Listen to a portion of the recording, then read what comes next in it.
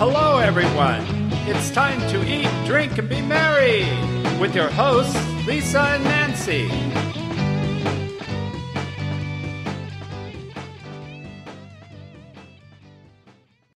Known as San Diego Sustainable Chef, Jeremy Manley is back on Big Blend Radio's Eat, Drink, and Be Merry show today to teach us how to make a flourless chocolate cake.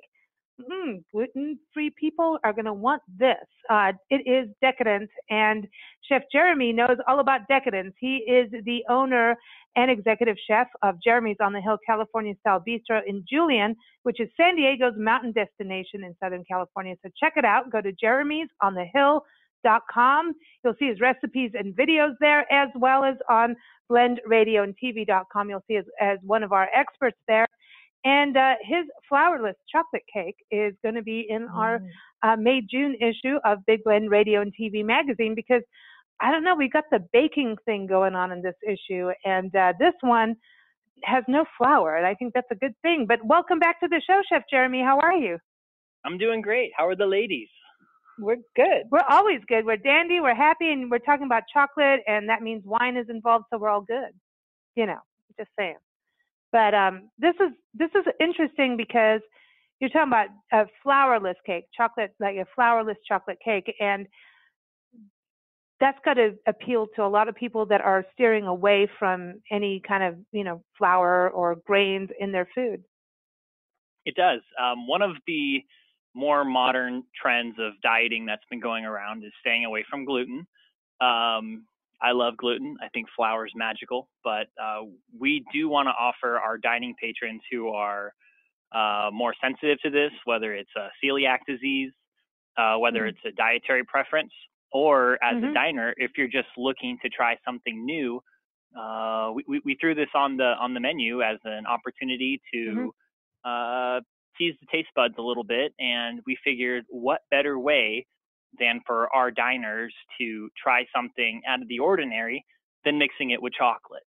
So mm-hmm. this cake is it's delicious, it's light, it's airy, it's fluffy. Um, the techniques that are used to make it, um, avid home cooks can do it at their own pace, at their own place. Um, it's really using basic ingredients that we have at our house and uh, mm. just taking it up a notch and trying something new with them.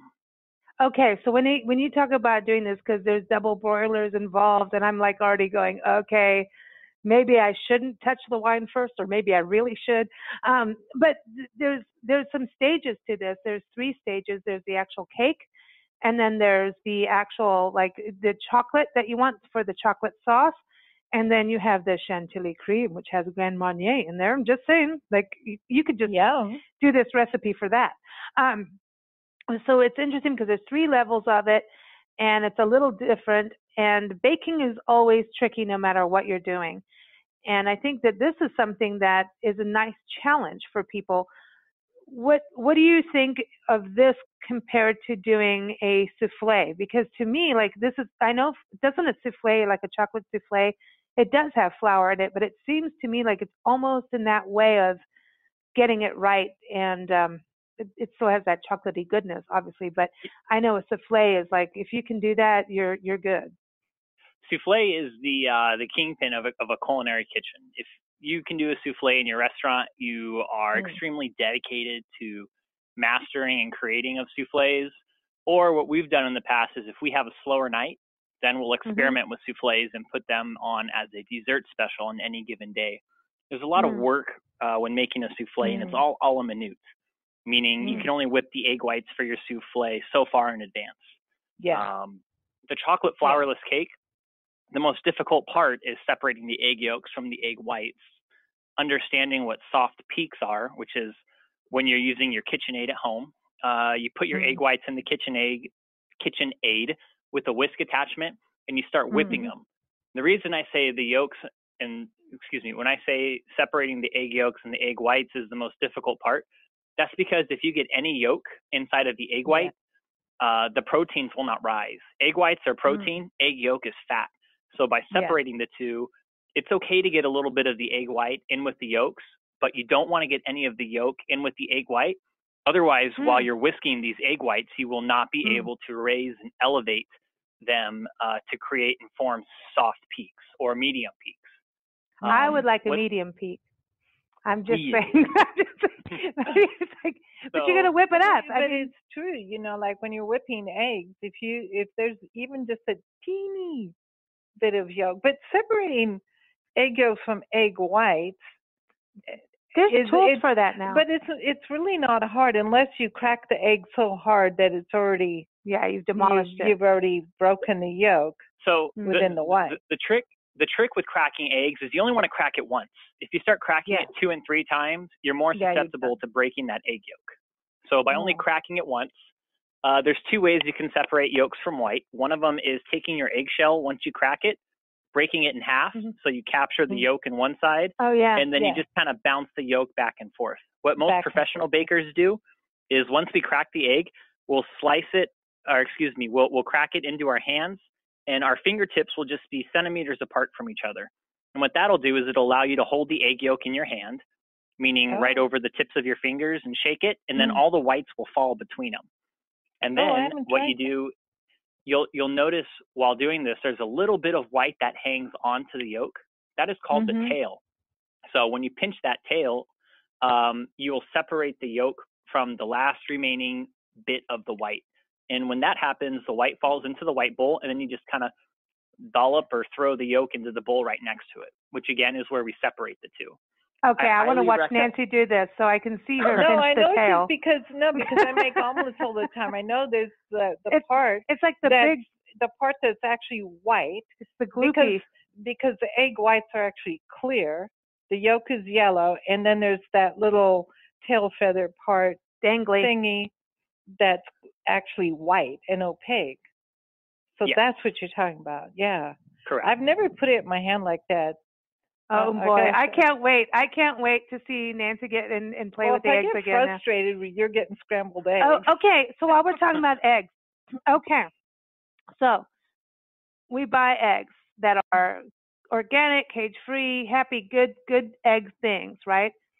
And we had those like a you know like little 12 pack or whatever they have them dozen eggs and then you have the i went and got more. We got the two cartons switched up. Could be the wine from the night before but the next morning we opened the the old one first. And i mean the the new one first. And so they have like labels on like best by this date best by that date. And so where are we on how long you can really have eggs that that's okay for you to eat. Like, cause I was like, oh my gosh, this is going to be bad by this date, and we ate all the fresh ones first. You know what I mean? You know, you know, yeah, I, I do. Um, you know, and I worked at a coffee shop, and if you used to go to grandma and grandpa's house, they'd leave their eggs out all night. It wasn't something Ow. that needed to be refrigerated. Um, over mm. time, granted, if you leave them out overnight, you're going to eat them within a couple of days. Um, coffee shops I used to work at, they would leave the eggs out all day during service, and it was fine. Really? Um, I'm sure some of our uh, health department friends would be rolling over in their graves, but yeah. I'm, I'm very practical about hmm. looking at eggs and smelling an egg, and when you crack an egg, if it's rotten. Um, we, I, I think safely, you could have eggs for seven to ten days. Ten days might almost be pushing it. Um, anything over two weeks, I'd get really weary about. And when I get weary, I'd rather just not serve it at all. Mm-hmm. And mm-hmm. I'll, um, man, I'll either throw them away, which I hate doing, or else mm-hmm. I will scramble them up. Um, you can buy eggs that are pasteurized. The problem with pasteurizing is you lose a lot of uh, God's natural desire and natural flavor. And anything that's mm-hmm. pasteurized means it's heated up to a certain point mm-hmm. and it kills anything yeah. that's living. That's mm-hmm, why liquid yeah. eggs, when, um, they add citric acid to them. But when, when you ingest liquid eggs, there's no Ew. flavor. There's nothing Yeah. like cracking an egg and always looking at the different color of the yolk. Even when you go to mom and pop farms or farmers markets, the color Yeah. of that yolk should be like a fire. It should be like a psychedelic orange. And what that means is that the chickens are actually getting protein and they're eating nutrients. And it could Mm. be uh, picking ants or uh, pincher bugs or uh, whatever is in their cornmeal diet that's uh, in, increasing protein um, and our the byproduct that humans benefit from when we eat eggs is a more fiery, vibrant, uh, gorgeous Mm. colored yolk that's going to hold together um, Mm. better. Th- There's a chef Yeah. down in um, can't remember what state it is, but his name's Sean Brock, and I was reading his Hmm. cookbook, and he has a farmer who feeds his chickens uh, cayenne pepper, and chickens Wow. cannot taste heat, but what that does is all the yolks that are that all the yolks from the Mhm. eggs of that farmer's chicken are the most intense fiery red color. Um, but Hmm. it's something that you know again animal rights people i'm letting you know that chickens can't taste capsaicin so they can just eat this cayenne pepper mixed in with their diet and their yolk turns this bright fiery color But that, is Um, there a benefit? Yeah, what's is the benefit? What's the benefit other than the color? Is that can be like cheese? What the what the sheep eat? You know, like I know in Europe they have the different. You know, you're eating clover today, and that's what your cheese tastes like. you know i You don't know? know if it alters the flavor at all i do know that Mm. capsaicin and spicy peppers anything spicy that has heat to it is really good for your joints Mm. um, Oh, okay. so So there good. might be some medicinal properties as far as that goes Mm. Um, But I would be surprised if there was a significant flavor change. I think it's more for visual appeal for culinary dishes okay. and for that elevating your dining experience to the next level. That I always thought that if your yolk was like that orange, like you know, here it is, I'm a yolk, you know, that that was a fresher egg, and that if it wasn't a orange yolk, that it was an old egg. no, that's just their diet. So that's why you can go to the grocery store and get a carton of eggs that's just Mm. fresh off the shelf at your local everyday supermarket that's not organic and those yolks those eggs might have been harvested a week ago maybe 10 days ago and you get them and they're bright yellow it just has to do with their diet and that's also when you crack the eggs in the shell um, if the Mm. shell is very brittle that has to do with their diet also so uh, eggs that you actually have to crack that have a thicker membrane around Yeah. uh, the inside of the shell, but on the outside of the yolk and the white, um, that's a Mm. more healthy chicken. You can tell because in some eggs there's a whole lot of whites and a tiny yolk, and then others have a big yolk and less whites. Yes, Hmm. And it and the harder the shell to crack, the bigger the yolk. Hmm. it's those double Mm. yolks that I feel bad for those chickens for. Are we gonna yodel? No, anyway, I just have, I don't know why I felt like yodeling, but anyway. Yodeling. So, yeah, woo. Um, so this, let's talk about the cake part because that's where, okay, you're separating the egg whites and the yolks. So, like I was saying, there's a three-point uh, process to this. Fourth being you get to eat it and drink wine. Can we drink wine while we make this? I mean, how long I- will it take? Um, once the, the the the most tedious part again about this is more so than anything is measuring out all your ingredients, uh, making sure that your egg yolks and egg whites are separated properly. Um, once your cake is in the oven, you're going to be looking at about uh, maybe a 40 45 minute cooking time, and um, I say 40 to 45 minutes. One because everybody's oven works differently. So in Yeah. this recipe, that's why I added a little um, clause in there that you know the best way to tell when your your chocolate flourless cake is done is when the sides of the cake start pulling away from your springfold pan. Uh, Mm. That that mold is there not only to help your cake rise and control it, so it doesn't just go everywhere, but it's also an indicator for when the sides of the pan are hot enough and the cake starts pulling away from that. Uh, it's easier to remove the spring mold uh, from the pan, and um, Hmm. that's Okay. That's what That's- just what we do. That, that that's the best way to cook it. Now let's talk about this pan. Is it a, so it's a mold, but it's also a spring form pan? It's like So tell us what it- about the pan. So if you have like say say you had like a pie shell or like the bottom of a pie pan, what makes a spring mold good uh, for cheesecakes as well as this chocolate flourless cake recipe is you're able to remove the sides of the pan with like a little lever. So Mm. y- you have this bottom pan that looks or this bottom pie tin looking thing. Then you put this spring mold around the pan and you pull this little lever which actually grabs the sides of the pan and, and shrinks it down so it adheres to the bottom of your your, your pan. Um, that prevents uh, flours or liquid ingredients from slipping through the cracks, um, which Hmm. is very important for cheesecakes because cheesecakes we cook in a water bath. But for this Oh, wow. particular recipe, it allows um, it, it assures us that when we have this liquid of chocolateless, chocolate flourless deliciousness goo pouring into the spring molded pan, it uh, keeps everything in its place without having to worry about it sipping through the cracks. We don't want to lose mm. any of that um, filling when we start baking these cakes. So again, that lever on the spring form pan uh, tightens it up. It's almost like a pulley, like if you were tying something down in the back of your car, and it just yeah. it gets it that much tighter. That's what the, the the pan's purpose is. Well, the thing is, none of us want chocolate, you know, going through the cracks. That's just not going to happen no. for us. it's you know, it, it's interesting because we've gotten we've gotten all these tools that we didn't have years ago, like for baking. It's it's really amazing what we have to help it's us. Great. You know, so you know, people like me can uh, attempt this. I used to bake when I was a kid. I was really into baking and really good and got into the science of it. And then I don't know what happened. Did you discovered boys? No. and I didn't I should have used the skills. I'd be happier now. I don't know. but anyway, so I just saying. But um but this is interesting. So now we go from this you know, this spring form pan, and then you're going to play with double broilers or double boilers, right? I always call them do- yeah. double broilers, but boilers. don't be intimidated boilers. by the name. A double boiler yeah. is just a medium-sized pot that has about two cups of water in it that you put over a flame on the stove top, bring it to a light boil. Then you take another metal bowl, place it on top of that. Metal's mm. key or glass because you don't want it to break.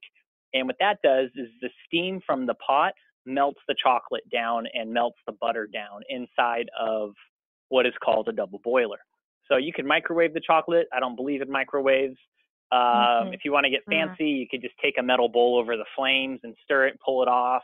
But you don't want it to scorch. You don't want that chocolate to burn.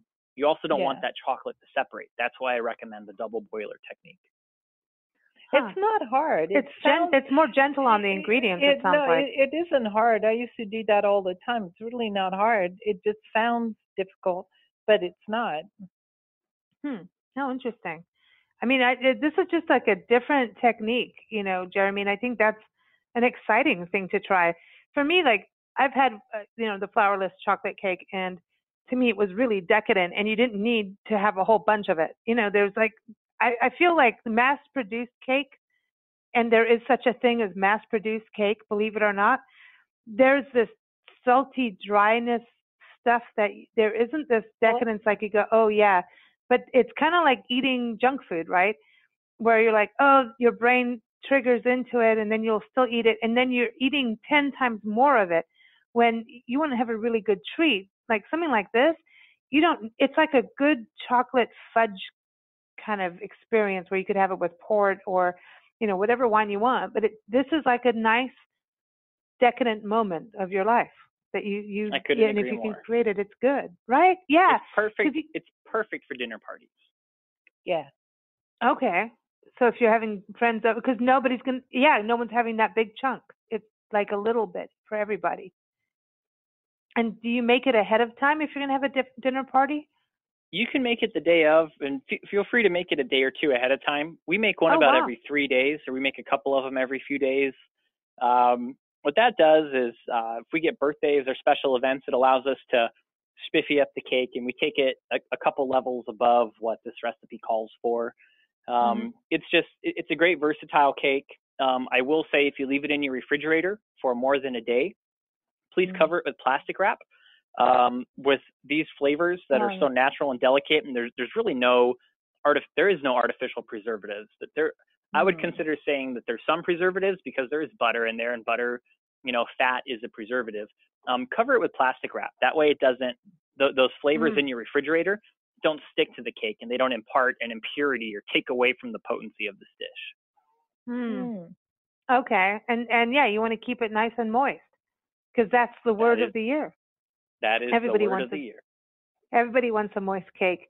Now, okay, so you make the cake, and everyone, the recipe's up on blendradioandtv.com and it's also featured in the May June issue of Big Blend Radio and TV magazine, and um, and you can go to the website for that. But the chocolate sauce. So is this like if you're going to have a dinner party? And like we're we're about to do that, but I don't think we're gonna like go to this extent. I don't know, man. If I'm doing it, this is scary. I could try. You could do it. I'll but then that's just I don't know, man. I really love baking. There's a science to it. Do you have to worry before I get into this? Do you have to worry about like the fall, like if you close the oven door and then the cake falls and all that. Do you have to worry about that with this? Uh, no, not with this recipe. No. Um, That's the one of the things thing, I love right? about this recipe is there is a science to baking, but one of the most Mhm. zenful moments for myself is when you bake something, it's a great time to tell people do not interrupt me because I am baking. There's a lot of steps Yes, that need to be met with time requirements. It doesn't mean stress out or worry about it if you're going too fast or too slow, but it's a great way for you to detach from everything in your life and just focus on the cake. Um, I right. That is the Mm. flip side to bakers in the culinary world versus uh, chefs or uh, line cooks, cooks. yeah. The the the baking is it's you can't rush it, you can't force it. The whole kitchen could be flying, you know, hurrying up, cutting more onions, chopping garlic, making aioli for Mm. different sauces, for mayonnaise, uh, reducing veal Yeah. bones. You know, you're in a hurry, you got to do a smaller batch really quick. You can't do that with baking. It's just very it's very uh, classical music like. It's one, two, three, one, two, three, one, two, three, and it's, It's just going to do what it does. La, la, Yeah, la.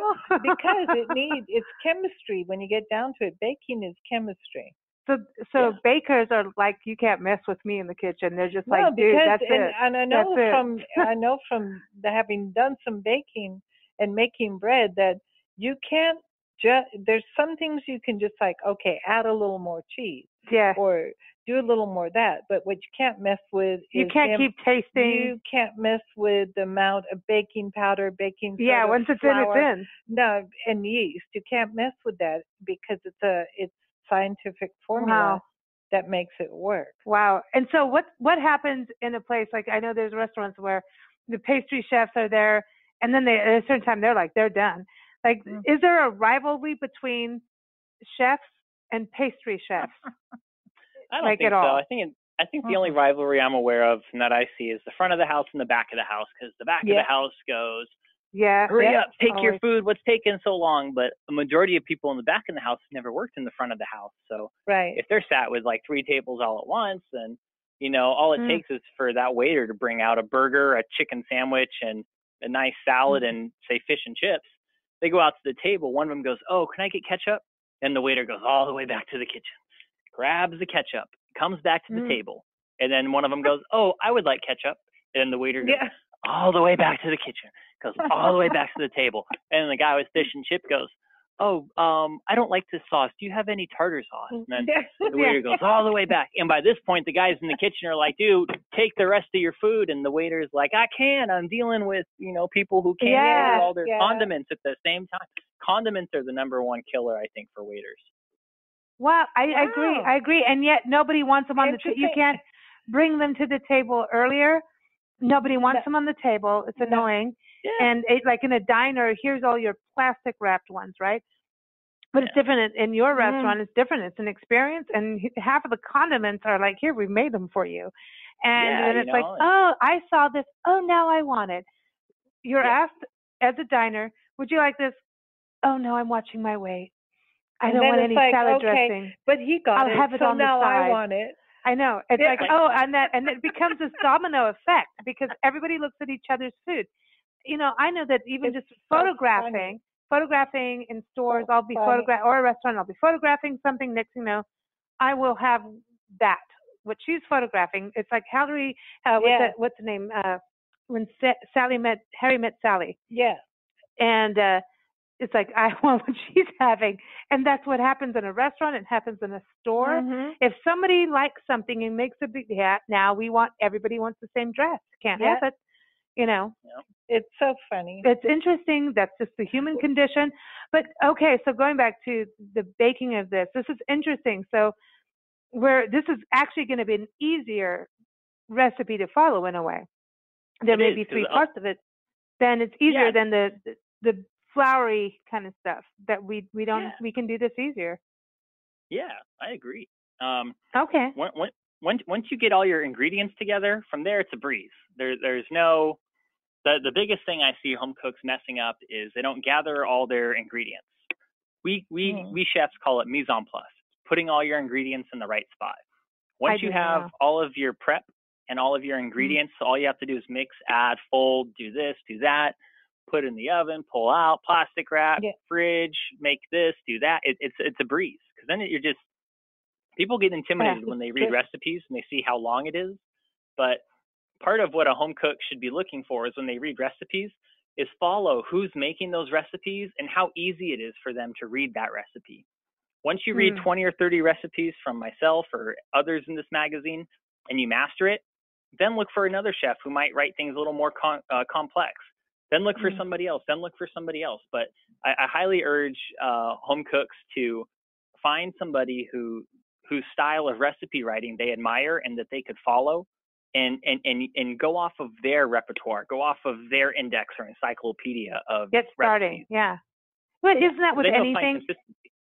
yeah you, that's how you learn how to do something is you start with somebody like when when you started cooking i mean we remember you as as a very young boy jeremy cooking you know you cooked for you know weddings i remember you cooking us breakfast i mean I, you you've done years of it before people know i mean it's it's a, an amazing story that you have as a chef is there when you were when you were getting into this and realizing that hey i'm into this and and started following recipes. I never saw you really follow recipes. I just never saw that part of it.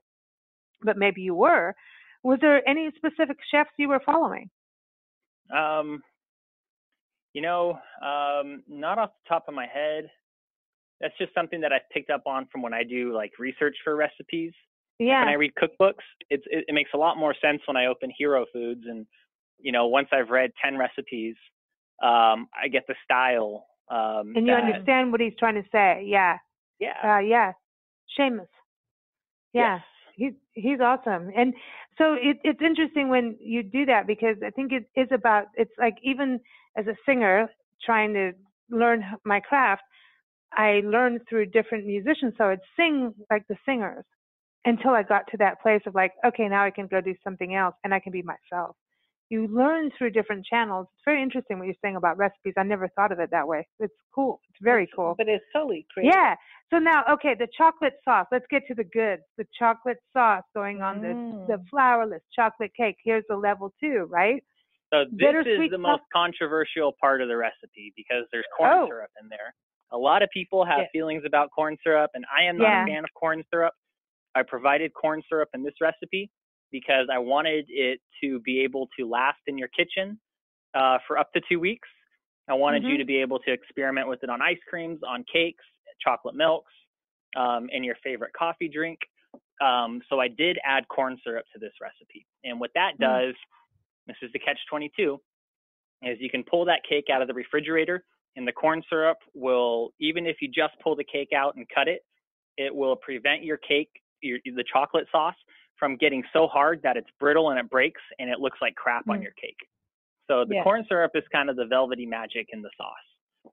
Um, Oh, I'm wow. a big fan of Julia Childs' quote, everything in moderation, even moderation. Um, but this particular recipe for chocolate sauce is a winner. It's solid. Um, you can add a little a pinch of cayenne pepper. You can add a little star anise to it. Mm. There's a lot of Ooh, like that. variations that. you can do and a lot of different subtle flavors. You can add a little Maldon sea salt on there. You can add a little bit Mm. of a little bit of coffee to it while you're making it if you want to kick it up a notch or a shot of espresso. And it'll it'll do magic. You'll be able to taste it. Wow. So that let's do the first one Mm. through, and then you start messing with it, right? It's like that's what I think about the recipes that you you're sharing with us. There are recipes that people can master and then make their own, and it can be they can create their own signature dish.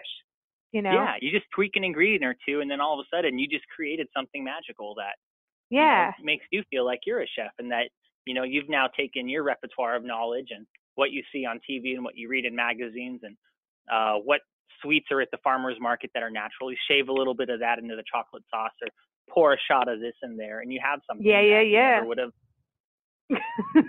Yeah. Like, you said shot. Mm. You said shots. Like hello, Like you could put a little Halo. orange orange liqueur in with Oh. that chocolate. dude. There's something Or about shaved, that. or shaved orange. Yeah. Yeah. Oh, actually, just put the Mhm. orange. Okay. See, I'm liking that. Yeah, that would work? Yeah. Mm, Now, orange and chocolate. What about berries?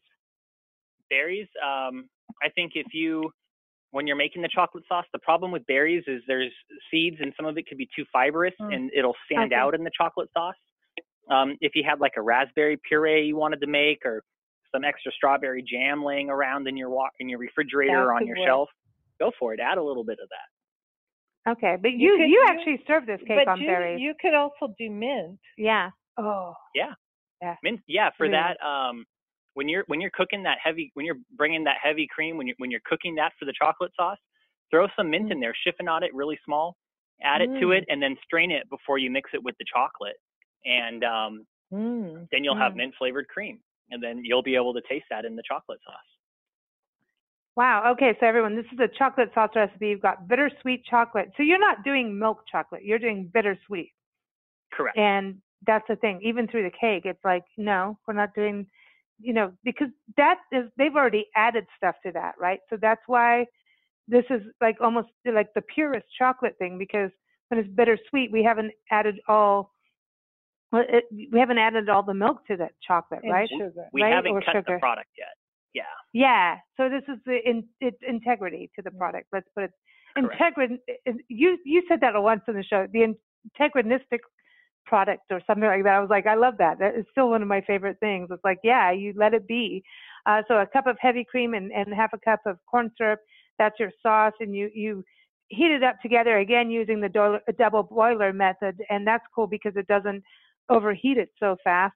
But then you have this Grand Marnier Chantilly cream and a pretty face and a ponytail hanging down and a wiggle and a walk. All right. Okay. Nice. Sorry. Tell me about your Chantilly cream. You got Okay. this so is like um, the final it's a part. fancy it's a fancy word for whipped cream. So I referenced uh, whipped cream while making this recipe. So when you're using your KitchenAid again with the whisk attachment, when you're taking your heavy cream and your powdered sugar or confection sugar, same thing, you're whisking that.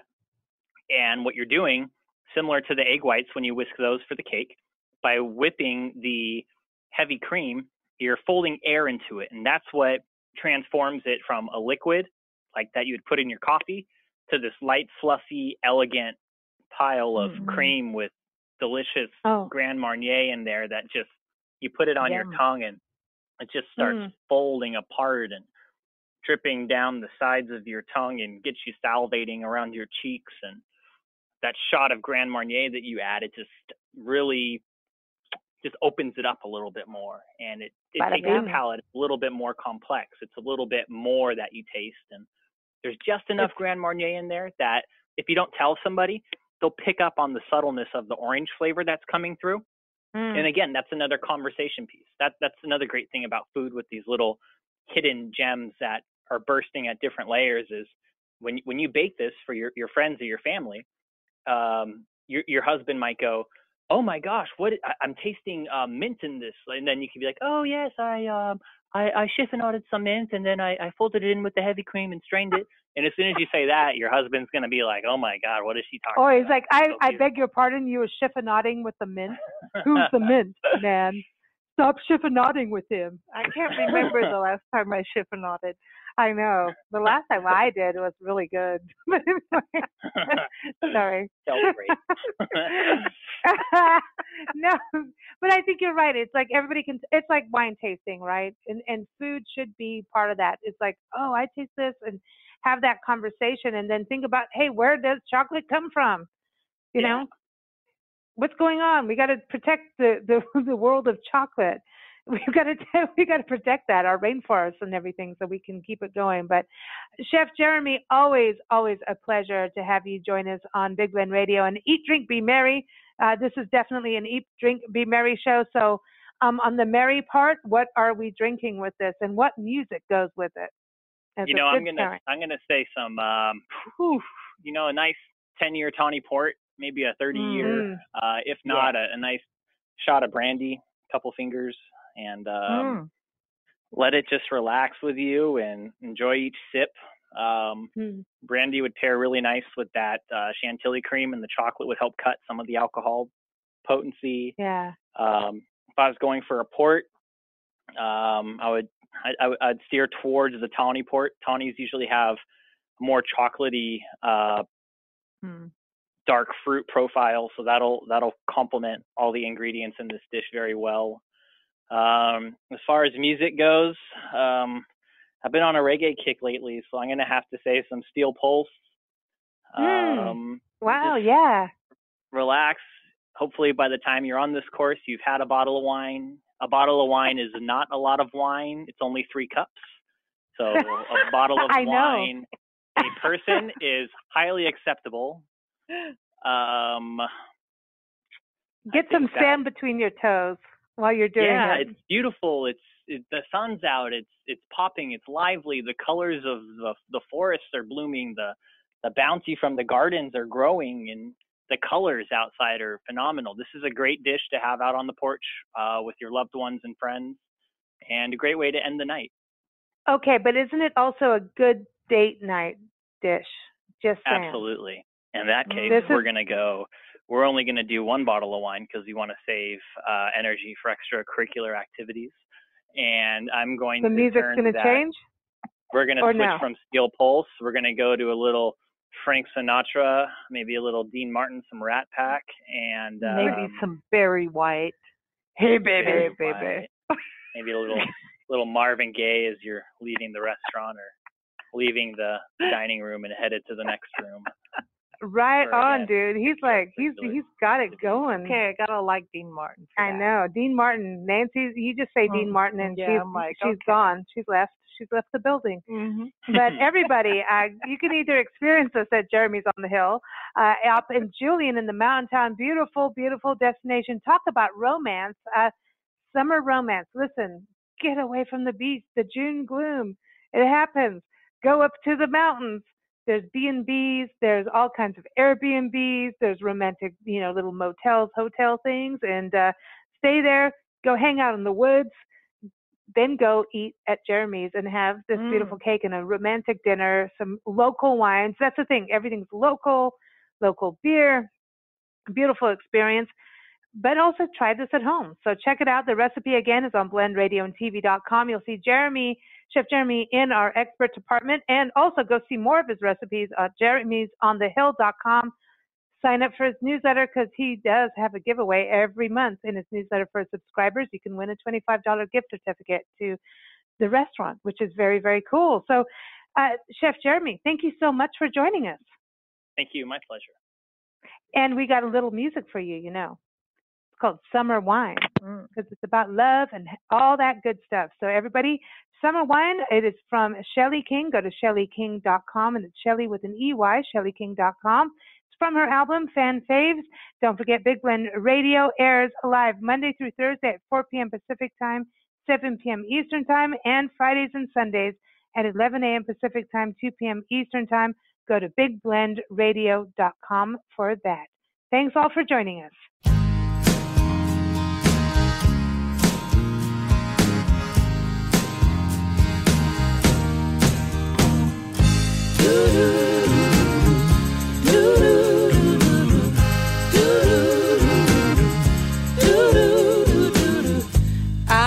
Thinking about getting away. Maybe I just need a little escape away from all this busy and around. Find a little time to come unwound. It's so easy to get caught up in this race with so many dreams to chase. Then I hear that song on the radio wanna go out in the sunshine, sip a little summer wine, slow dancing in the park, stay there till after dark. Sweet sound, soft and low, song on the radio. Doo-doo-doo-doo.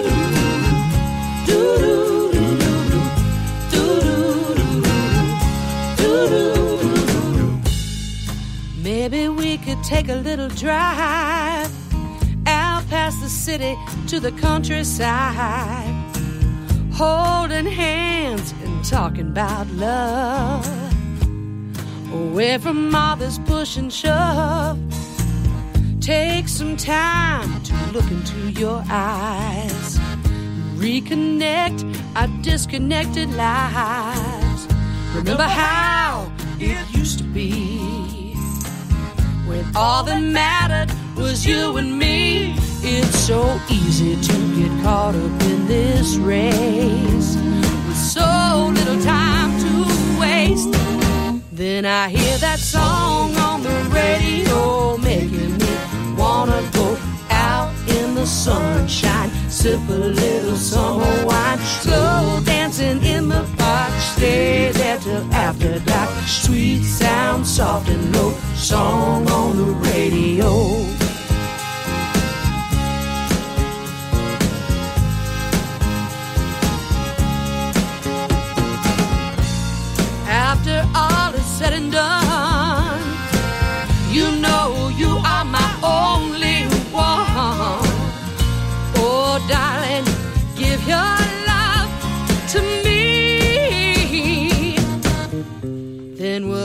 song on the radio, making us wanna go out in the sunshine, sip a little summer wine, slow dancing in the park, stay there till after dark. Sweet sound, soft and low, song on the radio. Doo-doo.